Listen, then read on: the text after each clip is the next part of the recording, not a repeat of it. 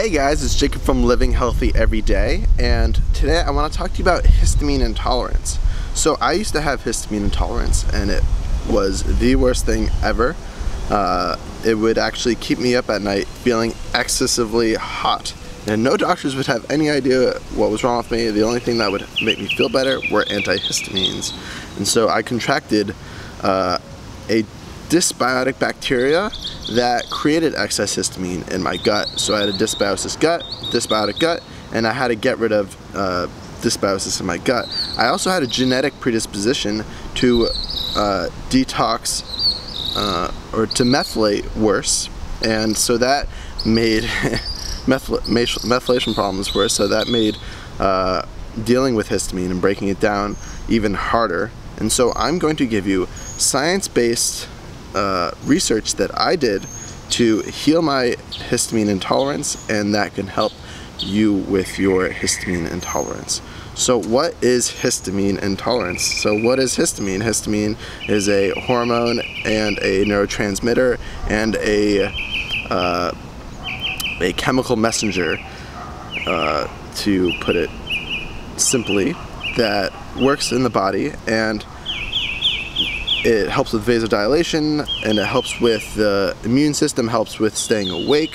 Uh, and many people with histamine intolerance could not be doing what I'm doing right now, which is standing in the sun and getting sun on their face and on their body excessive amounts because this actually, this sun on my body increases histamine in the skin. And so histamine intolerance, it's the imbalance of what you've eaten and produced of histamine and your ability to break it down. So you can have too much histamine over time and that leads to histamine intolerance. Um, so mast cells, food poisoning, the metabolism of histamine, taking histamine liberators, eating foods high in histamine, all contribute to histamine intolerance along with gut dysbiosis. Uh, so let's let's get into it. What are common symptoms of histamine intolerance? Well, there's itching, there's nausea, diarrhea, uh, headaches, insomnia, uh, just feeling hot, uh, anxiety, vertigo, vomiting, uh, having a runny nose, coughing, sneezing, things like that. Things that you naturally see when you have an allergic response to something. Uh, and it plays a role, histamine plays a role in like mastocytosis, uh, mast cell activation disorder and syndrome, uh, allergic reactions, anaphylaxis, arthritis, uh, inflammatory conditions, skin conditions such as uh, psoriasis, eczema, vitiligo, uh, gastric secretion, so when you're producing stomach acid and uh, appetite, of course. It helps regulate your sleep-wake cycle. Histamine helps regulate your sleep-wake wake, wake cycle, along with orexin. Um, helps with learning and memory, your motor system, muscle contraction, uh, and some neurological disorders and cancer progression. Uh, and if you want to learn more about histamine and histamine intolerance and all the steps that you can take and I took uh, to uh, reducing histamine intolerance and getting your system back to normal, you can see it all on the blog, which it has a link in the description of this post. Uh, you can see that or you can just comment to me and I will reply with the link or if you have any questions I'll reply to the best of my ability. So dysbiosis is the imbalance of gut bacteria um, where you can have pathogenic or bad bacteria versus having a abundance of good bacteria that work individually for you. And problems with dysbiosis and histamine intolerance is if you have too much uh, histamine producing bacteria in your gut you'll have an excess amount of histamine leading to histamine intolerance. Um, so you have inflammasomes that are sensors that regulate the gut that will react to excess histamine. Uh, when you have too much inflammation uh, or bacterial overgrowth and things like that, uh, that disrupts the communication between bacteria and your uh, immune system. It also messes up your secretory, secretory uh, IgA, um, that's the muco mucosal lining that houses all the uh, bacteria. And also uh, helps activate mast cells. And so let's talk about what mast cells are. So you've got mast cells all over your body. Uh, they're actually the first thing, the first part of our immune system that was here before we developed an immune system as being uh, eukaryotic beings. Um, and so they release uh, all sorts of molecules, uh, including histamine. So you've got stress, uh, or CRH, um, corticotropin releasing hormone, which can cause mast cells. So imagine a mast cell uh, has all these little golf balls on it, and when they degranulate, they shoot off all these molecules all over, and one of them is histamine. So stress, corticotropin releasing hormone, can make these mast cells shoot out excess histamine, degranulate histamine. Uh, interleukin 6 and interleukin 8 and other pro-inflammatory cytokines can increase the blood-brain barrier's uh, permeability. Um, so when your your blood-brain barrier goes away, you can get brain fog and things like that. That's why a lot of people with histamine intolerance have brain fog. Uh, lectins can activate mast cells. Leptin uh, and the receptors uh, are found in human mast cells. Uh, you've also got leptin can activate uh, mast cells, activate inflammation in mast cells. Uh, that's a problem with leptin resistance.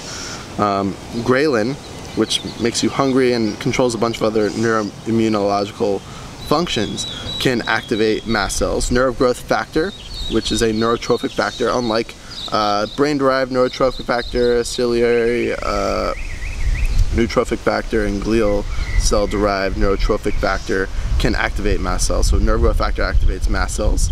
Um, nerve growth factor actually stimulates the release of histamine uh, and sensitizes certain receptors. Um, estrogen, so having an excess amount of estrogen can make more histamine in the body. Substance P can release, release uh, histamine from mast cells. Um, VIP, neurotensin, secretin also stimulate mast cell release, uh, uh histamine release. Uh, and somatostatin actually stimulates uh, histamine. So things like uh, melatonin would help with that. And then you've also got uh, so have you ever had food poisoning um, from like uh, fish specifically? So in fish, they've got all this bacteria on them and they break down the hist histidine uh, on the fish the, the bacteria on there break down the histidine and produce excess histamine. So that's why old fish gives you this uh, food poisoning response. You get this allergic response. So people who are allergic to crabs and shellfish and stuff like that, uh, they get a uh, histamine intolerance induced uh, response unless you actually have an allergy to fish, which is different. Um, so a few things help break down uh, histamine. Uh, you've got DAO, which is diamine oxidase, and then you got N-methyltransferase, uh, which are two enzymes that break down histamine. And in the intestine, DAA, DAO usually breaks it down, uh, and it's excreted via the urine. Uh, and the metabolite, something that you would want to test for, is N-methylhistamine uh, which would be a 24 hour urine test. And only a few labs in America do this, um, which you can see on the blog post below uh, where to get it done and all the biomarkers that indicate histamine intolerance uh, and mast cell activation disorder and things like that. So you've got a histamine releasing factor. Uh, it's a, it stimulates uh, histamine release along with interleukin uh, 4 and 13.